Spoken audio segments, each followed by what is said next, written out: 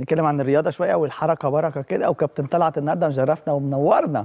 أهلا وسهلا. حبيبي يا شريف. الأخبار؟ كل سنة وأنت طيب الأول؟ ابو عندي 47 سنة يا طلعت ده الصغير ده رقم يعني العمر ده رقم. أه والله اسمع. مني بس اسمع مني. أنا كنت أعيط لما. تميت ال 30 بس هو رقم يعني يعني. برضه 30 دي تمت من زمان قوي. يعني مش فاكر؟ إيه اللي حصل؟ يعني أنت العداد قلب عندك بقيت 30 مم، تخيل. وانتوا يا حبايبي بقى. أنت عيد ميلادك النهارده؟ لا بجد؟ أه ليه ما قلتليش؟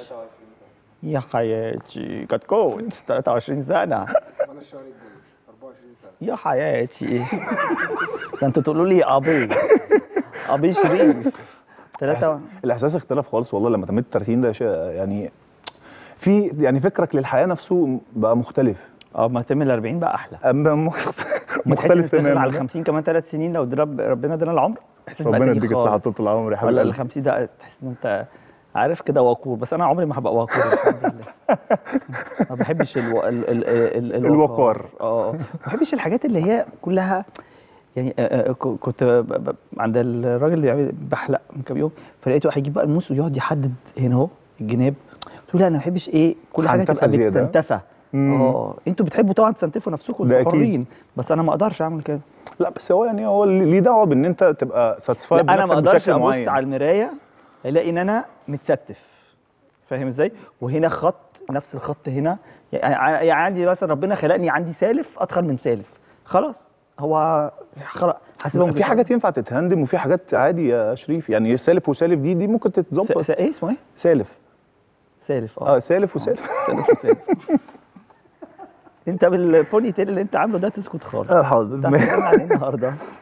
آه، بما إننا رجعنا بقى المدارس آه، هنتكلم عن ال lunch box. آه بص أنا عندي مشكلة شوية في في الحتة دي طبعا لأن أنت عشان عندك ابنك فهتتكلم أنت بتعمل ده حوار إيه؟ ال lunch box ده إحنا كنا آه. بناخد في سند- السندوتشات في كيس أبيض وخلصنا من القصة طب. كويس في كيس أبيض مش ورقة جورنال ما في ناس بتلف الأكل للعيال ده صعب ورقة جورنال وقت الجورنال ده بقى. كلها رصاص. وبتاع الجرايد ما تفهمش إيده كانت فين ومسك الجورنال والجورنال بعد كده بتحطوه على الأرض وساعات بتدوسوا عليه.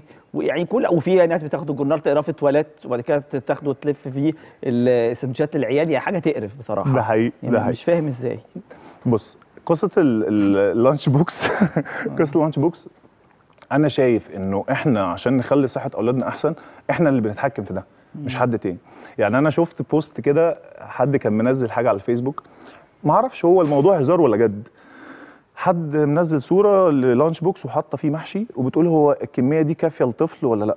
في المدرسة أقسم بالله. يعني ده ممكن يكون هزار مش هزار. يعني بس أنا فكرت في الموضوع. قيس على ده حاجات كتيرة جدا. ممكن بس أنا ممكن أصدق إن في ناس يعملوا كده؟ ممكن. ده وارد. بقول لك ما أعرفش هي ممكن تكون وجهة نظرها إيه بس آه أنا شايف إنه إنه في حاجات كمقياس يعني الأكل مش مش مهم محشي. في حاجات كتير قوي ممكن تتاخد في في المدرسة. مش صحية تماما. انت عارف إحنا كان عندنا حاجات انواع سندوتشات في مدرستنا ممنوع ان إحنا نجيبها المدرسة؟ زي إيه؟ يعني ممنوع مثلا حد يجيب سندوتش كفتة مثلا. أوكي. يعني متحدد لك حاجات سندوتش مربى آه، جبنة بيضة جبنة رومي آه، آه، حلاوة طحينية حاجات زي كده. بس ليه بقى؟ لأن انت ممكن يبقى عندك طالب تلميذ في الفصل مهم. عنده المقدرة إنه يجيب سندوتش كفتة مهم. وتلميذ تاني ما يقدرش يجيب ده. حتة العنصرية أو كلنا- حد فيه معاه آه، أو معهوش. فلازم كلنا نبقى شبه بعض صح حتى صح. في الأكل. صح دي دي, دي فكرة حلوة بس أنا بك يعني, خلي يعني خلينا نتكلم بقى إحنا ال lunch box بقى فيها آه إيه؟ إحنا بن إحنا بن control بقى من البيت. من البيت إن إحنا نأكل ولادنا حاجة صحية أو لأ. بص إحنا آه، يعني بما إن إحنا بندرب بيجي لنا أطفال من سن 6 سنين لغاية 16 سنة زي ما اتكلمنا قبل كده يعني أنا بيصعب عليا إنه طفل في عمر مثلا 8 سنين آه، وزنه زيادة شوية مش قادر يواكب حياته كطفل يلعب كورة أو أو يجري مع أصحابه أو كده. بلس إن الأطفال في السن ده ما بيعرفوش يميزوا في إن هو ما ينفعش يقول له أنت تخين أو لأ. فده ممكن يسبب له ضرر نفسي. يعني حتى لما تيجي تتكلم أنت مع طفل إن أنا عايز أخسسه. لأ أنا مش مش هخس. أنا أصلا كده كده تخين. هو خلاص بقى في دماغه إن هو يعني أنا ده بقى عيب فيا عيب قاتل فيا.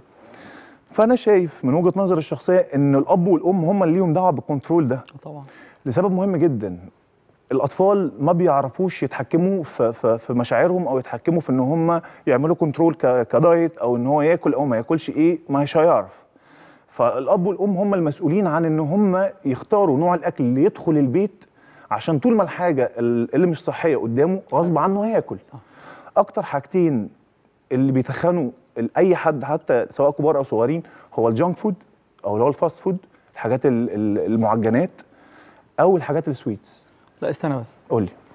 ال junk food إحنا فاهمينه وهنفهمه الناس اللي هي الحاجات اللي أنتوا بتجيبوها ديليفري الهمبرجر بقى والبيتزا والحاجات دي بالظبط. اللي عليها مواد كتيرة قوي بالظبط. بتخن الأطفال. بس المعجنات مالها المعجنات؟ كتر ال- الباتيه والكرواسون والعيش وال- والحاجات دي إيه المشكلة لا فيها؟ بص أنا خليه خلينا نتكلم كتدرج للحاجات الصحية. إحنا بنتكلم مثلا لو أنا عندي ممكن آكل عيش آه، فينو أو ممكن آكل آه، عيش آه، بني. تمام؟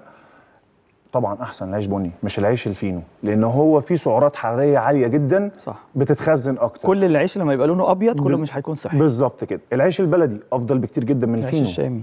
تمام؟ العيش الشامي والعيش الشامي بس خلينا حاجات البنيات. من آه. بالظبط كده. آه. حاجات البني دي أفضل. كتير. بالظبط كده. آه الحلويات أنا ما ينفعش أكل ابني كل يوم حلويات. خليها مرة في الأسبوع مرتين في الأسبوع. صح. ما ينفعش الحلويات تفضل متاحة دايما قدام ابني في, في البيت. لازم يكون هو عارف ده أنت ك system حياه أصلا أول سنتين من عمر العيل. مش المفروض ناكله أي حاجة فيها سكر؟ نهائي.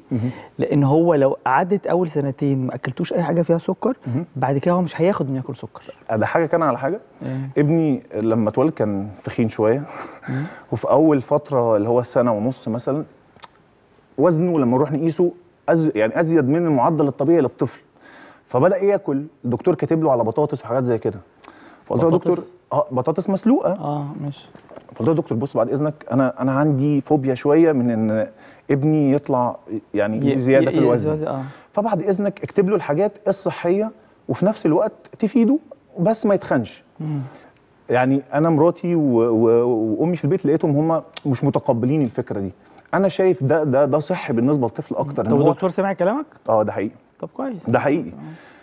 الموضوع إحنا اللي بن control عليه مش هم. طب تعالى نشوف كده شكل ال lunch box اللي انت جايبه. آه. ورونا كده ال lunch box. ورينا الصورة. نختار العناصر الغذائية لو إحنا كده حطينا له تفاحاية موزاية آه علبة عصير آه خيار. علبه لبن. طبعا الخيار عشان الأملاح آه أو ال- ال vitamins الموجودة. آه يكون العيش زي ما قلنا يكون طب ده بني ساندوتش إيه ده؟ يعني حطه. زي ما انت عايز. بص خلينا نتكلم في منتجات الألبان. زي ما انت ما قلت ده أفضل بكتير. جبن آه جبن البيضاء أو الجبنة الرومي أو ال- الجبنة آه لا جبنه رومي دي ممنوعة. عشان؟ عشان فيها فورمالين. دي من أكتر الحاجات بتجيب لا. دي المعلومة دي مش عندي دي ما أنا كويس بقول أنت قلتها آه. لي. يعني أنا منعت أكل الجبنة الرومي طول حياتي. فورمالين؟ آه. دي دي جديدة بالنسبة لي. طيب آه نتكلم الجبنة عن هي أحسن جبنة ممكن تاكلها هي الجبنة القريش. طبعا طبعا. أنت عارف أصلا الجبنة القريش عبارة عن إيه؟ آه.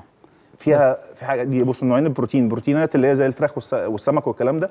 وفي نوع تاني اسمه كازين. كازين ده ال absorption أو الامتصاص بتاع البروتين العادي اللي سواء الفراخ أو كده آه، من أربع ساعات لست ساعات جسمك بيمتصها. ده ال maximum ليها. البروتين بتاع الكازين الموجود في الجبنة القريش بيقعد من 8 ساعات ممكن ل 10 ساعات في الجسم. فاستفادتك للجسم أو ال ال ال جسمك بيستفاد من الجبنة دي بشكل أكبر. أطول. تمام؟ طيب. انت كده قلت لنا ال lunch box فيها إيه؟ تمام. تفاصيل إحنا عشان الوقت. طيب جميل يلا. عايزين هنعمل الرياضة بتاعتنا اللي إحنا بنعملها؟ كام؟ انت هتلعب لي عضلاتك يا عم مغربي؟ في إيه؟ اوه! ده كانوا من شوية بيعملوا show حلو قوي في الفاصل. قعدوا كده يمطحوا في بعض هم الاثنين هيعملوها دلوقتي. هم هيعملوا إيه؟ بص إحنا استنوا ما تعملوش حاجة. خلينا بس نفصل حاجة. انه ال- ال- اللي إحنا بنتكلم فيه الكلام ده حاجة ده, ده مش أطفال ده لا. ده مش أطفال ده كبار طيب، في البيت. بس مين هيعمل الحاجات السهلة ومين الصعبة؟ حسام هيعمل الحاجات الصعبة. ارفع إيدك يا حسام. حسام هيعمل الحاجات السهلة. الصعبة. الصعبة. آه. حسام هيعمل الحاجات الصعبة. مغربي هتعمل حاجات السهل السهلة. يلا. مزيكا.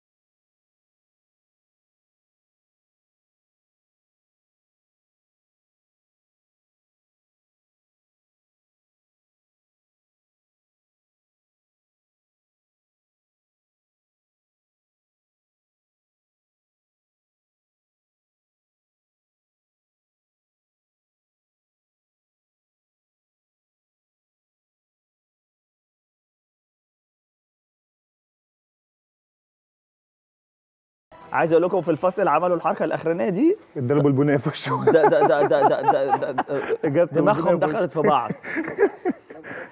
لا أنا ما بعرف أستر على حد كنت سطرت عليه. لا ما قال ما بيسترش. لا. الله يبارك لك أجيب لك. الراجل بتاع المساحة هنا.